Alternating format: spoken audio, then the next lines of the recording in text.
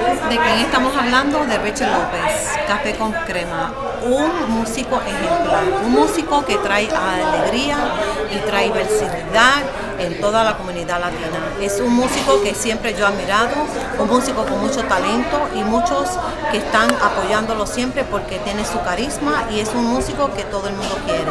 Richard López para mí es un músico excepcional y por eso es que tiene tanto apoyo con la comunidad latina por ser lo que es, un talento latino.